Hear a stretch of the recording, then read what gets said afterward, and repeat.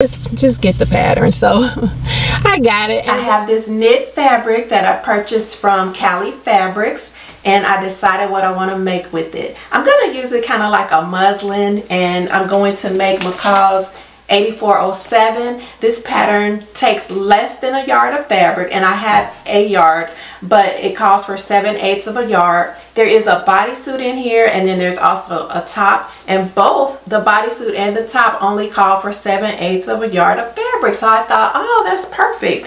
So I'm just going to give this a try. I'm going to make the top and then if I like the top then I think I'll go back and make a bodysuit so I'm about to get started and cut out my pieces. Let's see how many pieces there are for the top. That's something I didn't look at. One, two, three, four, five. There's six pieces for the top.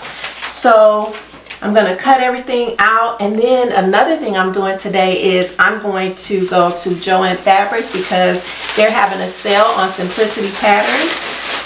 And I have about three patterns on my list that I want to see if they have in store. And then I'll probably browse the book just to see if there's anything else that I want to pick up. Just left Joann Fabrics and they had all the patterns I wanted. So yay, I'm excited. These aren't really new. They're just patterns that I thought about and then decided that I wanted to get. That's how two of these are. One of these I already had and then one of them is kind of new. So I decided to pick up Simplicity 9776. Can you even see? And I like the fact that this is made out of a woven. For the longest, I thought this was made out of knit. 95.97. I like the low back on this. But what really sold me is that View B is a jumpsuit love jumpsuits and I thought this was a dress the whole time. There is a dress in here but one of the views is a jumpsuit so I thought that was cute.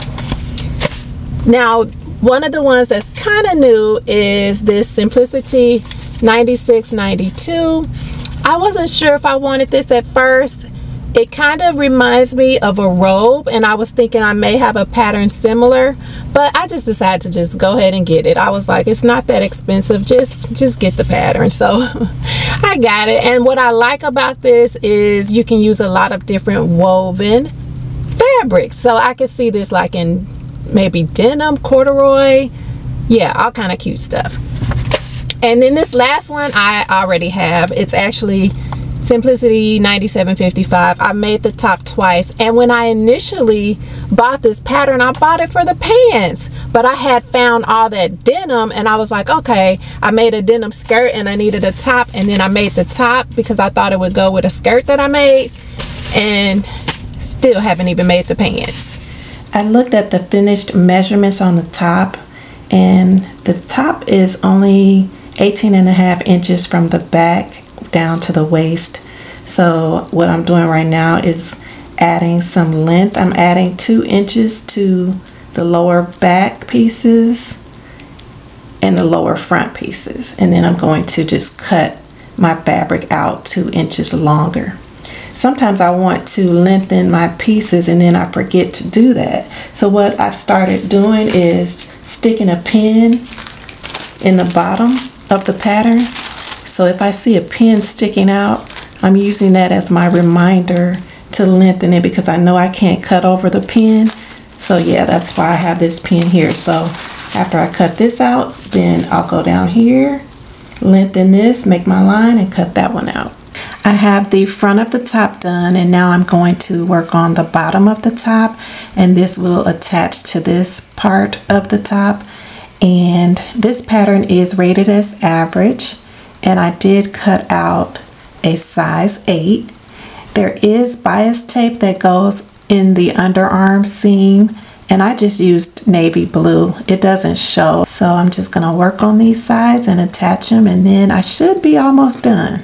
I did eliminate the elastic that's called for in the pattern and I do feel like it could be just a little bit longer. And I am wearing this with a backless bra. I've been in here playing around with some fabric scraps that I had left over from a jumpsuit that I made. And I saw this top on Pinterest. I'll put a picture up. I thought it was so cute. So I'm in here trying to like recreate it. And I just made a little ruffle. And I'm pinning it to the bodice and added a sleeve. I think it's coming out okay. I still need to work on the other side. There's supposed to be like a ruffle sleeve over here on this side, so I need to maybe figure that out. But yeah, that's what I'm working on right now.